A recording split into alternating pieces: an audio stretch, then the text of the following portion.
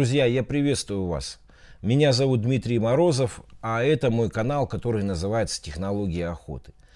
Сегодня ночью у нас прошла метель, выпал снег, причем снег сырой, мокрый. Поэтому я не рискнул на своей рабочей машине заезжать куда-то там в лес для того, чтобы снимать новое видео поскольку, в принципе, я, если бы я был сегодня на охотничьей своей машине, я бы, конечно, мог спокойно заехать бы и снять на Ниве, но я сегодня на Хонде, поэтому рисковать, заезжать куда-то в сугробы с мокрым снегом, наверное, было бы непредусмотрительно с моей стороны. Вот поэтому сегодняшний обзор у нас будет проходить вот в моем офисе непосредственно, пока у меня вот обеденный перерыв, я решил его снять. А на обзоре у нас сегодня Верон, ты что жрешь там? А на обзоре у нас сегодня вот такое вот замечательное, интересное ружье турецкого производства АТА Армс Нео. Ну, наверное, в принципе, вы в курсе видели в магазине, видели его на сайтах, да, вот, и вот о нем и поговорим сегодня.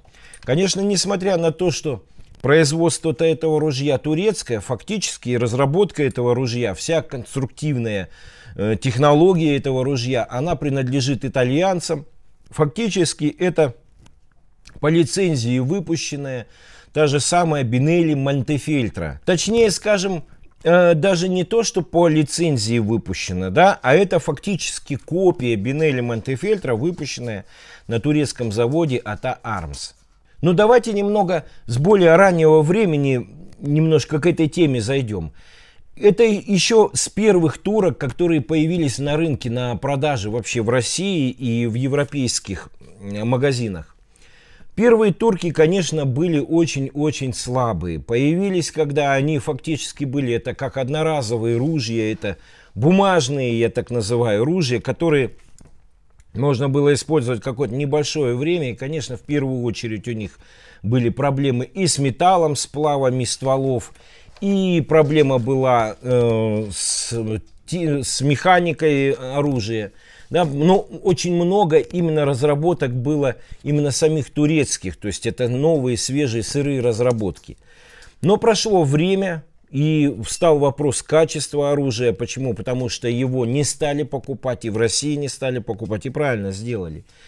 Поэтому через какое-то время турки э, решили обновить свое производство, улучшить качество, и в первую очередь они сделали, наверное, самый главный э, шаг в улучшении качества – это приобретение лицензий – у знаменитых итальянских, европейских брендов на производство вот их оружия под своей маркой. Но, конечно, при производстве оружия, да, по лицензии, скажем так, тем более не просто по лицензии, а копии этого оружия, э, пришлось э, улучшать э, технологии свои, улучшать производство, потому что это требовало в первую очередь именно э, сама лицензия, само, само предприятие, которое выдавало лицензию на производство этого оружия. То есть, вот в частности, допустим, Бинелли. Были такие, конечно, производства, как Хуглу, которые вообще сыпались там безобразные, да, вопросов очень много было к этим оружиям. И, ну, надо сказать, и сейчас очень много вопросов к этим, к этим оружиям остаются, да, и сейчас они не считаются какими-то а, а, какими-то надежными ружьями. Но в отличие вот от э, таких ружей, как АТА Армс Нео. Ну, а АТА сама по себе это совсем другое дело. Это не хуглу, это не какое-то там дешевое производство. Фактически, вот если рассматривать вот эти ружья, особенно АТА Нео, э, это фактически возможность за умеренные деньги купить ружье, практически копию э, дорогих каких-то брендовых ружей. Относительно вот брендовых ружей цена вот, эти, вот этого ружья ну, в три раза дешевле, в четыре раза дешевле. Конечно, эта цена больше, чем наши вот э, там э, МРки, да, 155 допустим, та же. Но все-таки она остается в пределах разумных, пределах доступности для многих покупателей. И, эти, и это ружье можно рассматривать как представителем э, знаменитого бренда, представителем да, на турецком рынке, в том числе и на нашем российском рынке. рынке. Фактически, еще раз скажу, что покупая вот АТА Arms Neo вы покупаете Бинелли Монтефельтра. У нее даже запасные части подходят от Бинелли. Даже чоки. И в принципе, если у вас произошла какая-то поломка, у вас нету запчастей на турецкие ружья да, в магазине, вы можете поискать запасные части на Бинелли Монтефельтра и спокойно поставить на это ружье любую запасную часть.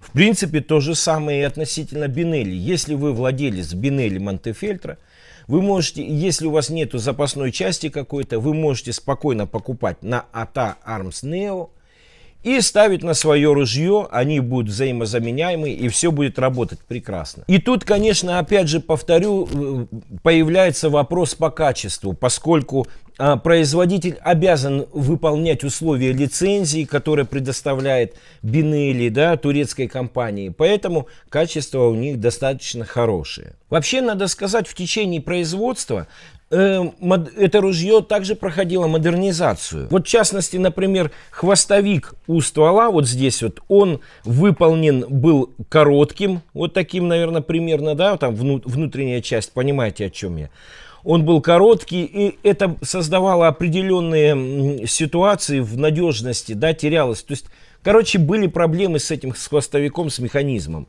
Сейчас он удлинен в соответствии так, как это должно быть именно на самой Бинелли. То есть произведена модернизация, полная копия вот этого ствола.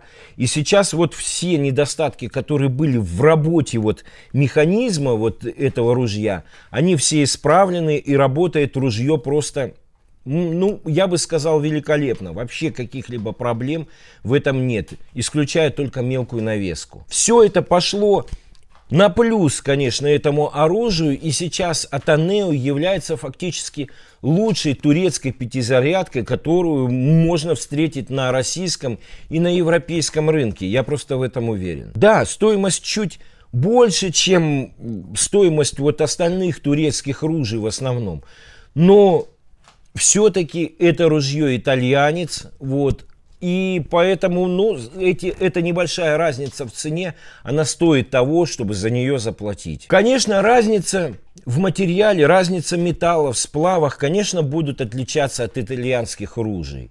Конечно, скорее всего, это не будет настолько выносливое ружье, вот именно в плане ствола, как итальянец – и, допустим, как легендарные какие-то вообще, в принципе, итальянские ружья, и как наш тот же там ТОС-34, допустим.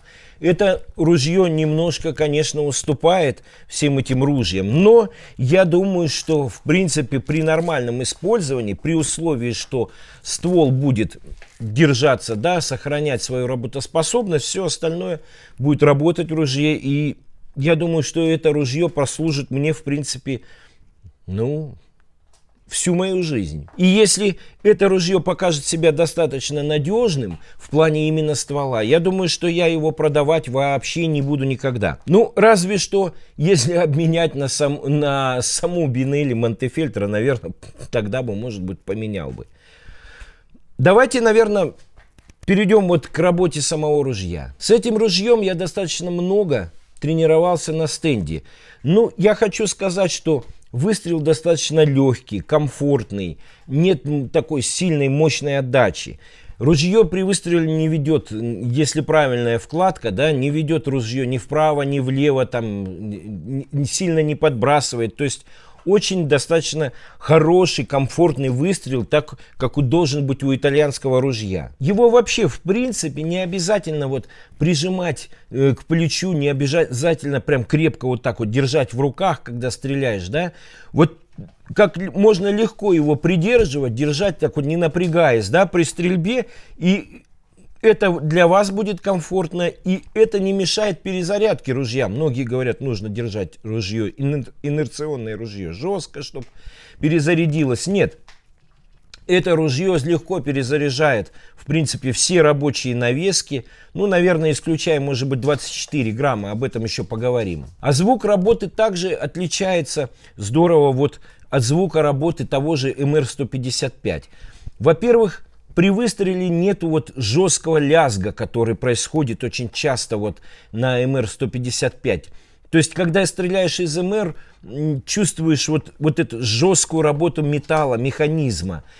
Слышно, как перезаряжает ружье. Для тех, кто вот много стреляет, да, то замечает вот эту работу УСМ и так далее. В этом ружье гораздо все происходит мягче, гораздо проще. Нету вот этого жесткого железного звука при срабатывании механизма. Это, конечно, заслуга и того, что это ружье все-таки инерционное, во-первых, а во-вторых, все-таки это конструкция Бинелли. В этом тоже заслуга. Но, но в этом ружье есть и свои плюсы и минусы. Например, так же, как, как я уже сказал, это ружье более чувствительно вот к навеске дроби, например. Думаю, что спортивные патроны 24 грамма на этом ружье все-таки лучше не использовать. Все-таки использовать 28 грамм, потому что ну, наверняка все, ружье не сможет перезаряжать 24 грамма. Кроме того, я советую вам не использовать на этом ружье и патроны высокой навески. То есть магнум, полумагнум тоже не, использ... не стоит использовать на этом ружье.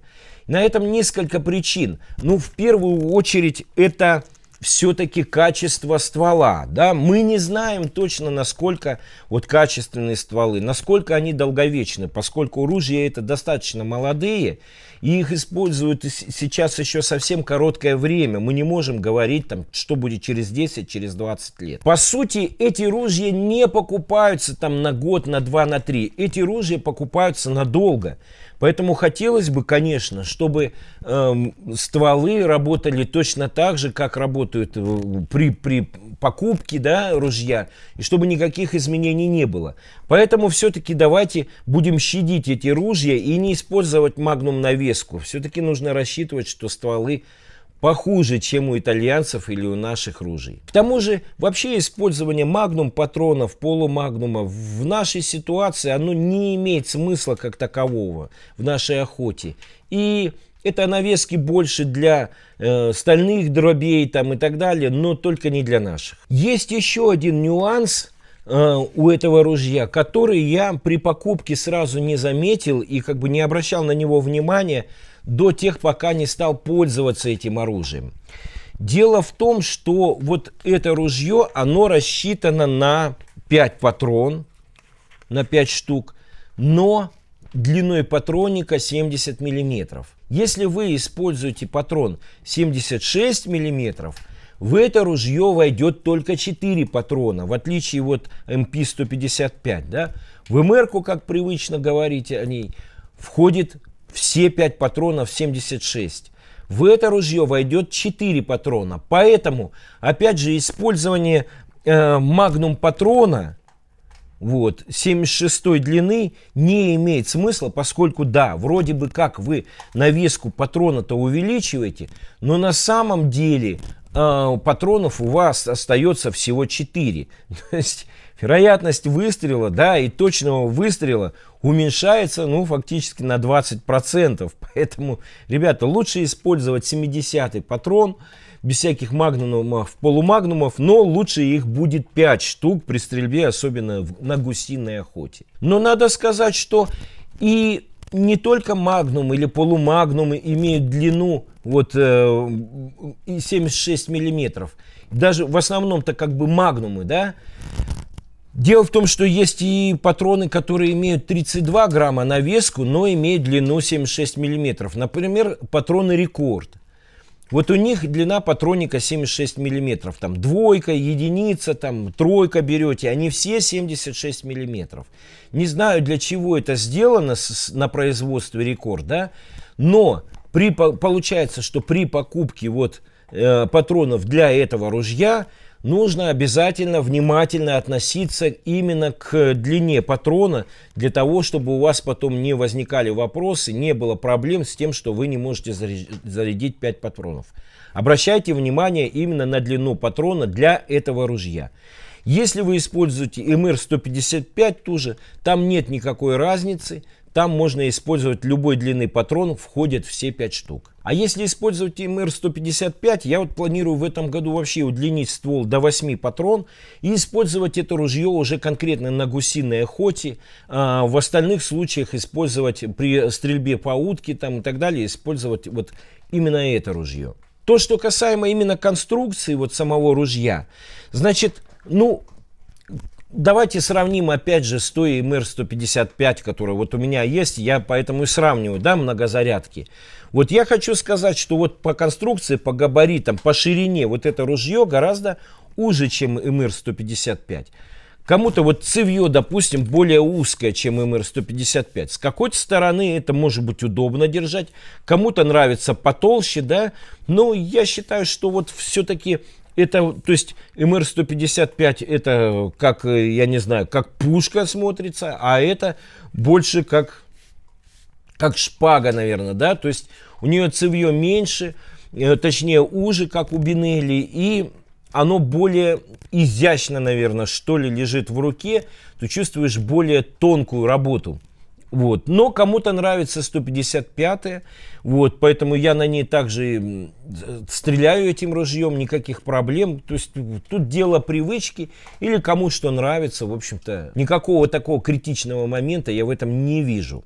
Длина ствола у этого ружья 76 сантиметров, 760 миллиметров. Я считаю эту длину самую идеальную. И пусть кто-то говорит, что там коро, более короче, там разворотист или еще что-то. Ребята, 5 сантиметров ствола вам не дают какой-то критической массы для того, чтобы вам не развернуть ружье. Поработайте с ружьем побольше, потренируйтесь дома, потренируйтесь на стенде. Я думаю, что разворачиваться вы сумеете и с тем, и с другим ружьем. Никакой ни массы, ни длины там особенной 5 сантиметров ствола не дают. Зато они дают лучший бой, как минимум на 15%, на 15% улучшенный бой по сравнению с 710 стволами. То, что касается приклада.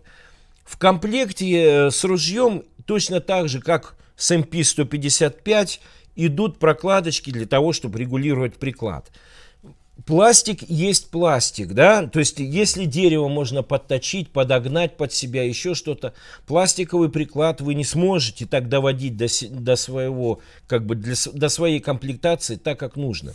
Поэтому вот используются вот эти прокладки, я использовал подрегулировал под себя, мне стало стрелять этим ружьем удобнее. Хотя, в принципе, оно само по себе даже без каких-либо дополнений, оно, в принципе, было удобное. Но так будет лучше. То, что касаемо дульных сужений, значит, все чоки, вот их в комплекте три штуки идут, да, чок, получок и нулевка.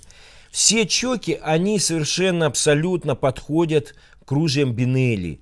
Поэтому, если вы видите в магазине, допустим, сужения продаются, которые подписаны Бинелли, да, вы можете смело покупать их и ставить на это ружье без каких-либо проблем.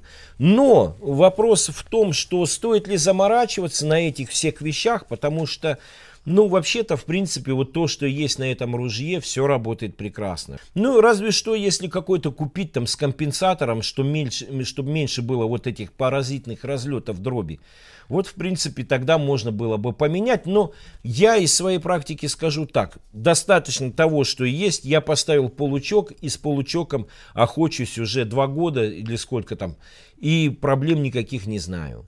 У меня это ружье выполнена в пластике, в черном пластике. В принципе, проблем таких особых с пластиком вообще нет.